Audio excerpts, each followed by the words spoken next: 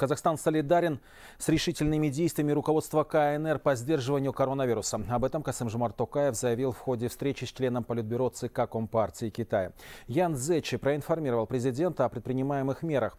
Глава государства высоко оценил эти усилия, подтвердив намерение Казахстана совместно противостоять угрозе глобального масштаба. Мы продолжим двигаться вперед по пути развития и укрепления стратегического партнерства между нашими государствами, подчеркнул президент.